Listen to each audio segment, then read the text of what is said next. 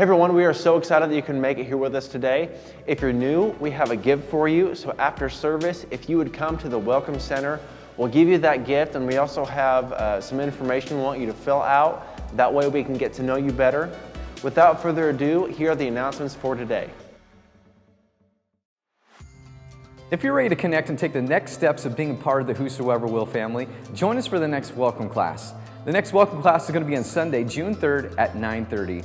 The welcome class is a class where you can learn more about who we are as a church, the heart behind what we do, and also discover how you can get more involved and connected to your Whosoever Will family.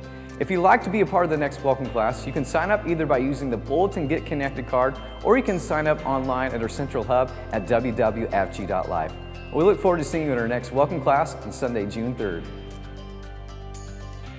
The 2018 Synergy Conference is getting closer. Last year we had a great conference with our guest speaker, Danny Silk, and we believe this year is going to be even better. This year's conference is going to be on July 12th through the 14th, and it's going to be at Cornerstone Church in Floyd's Knobs, Indiana. And we're going to be having some awesome speakers this year. Joining us this year is going to be Bill Vanderbush, Bob Hauselman, and our very own Pastor Dan Dyer. And if you'd like to register or get more information about the Synergy Conference, you can go to synergycomp.com. Again, that's synergycomp.com.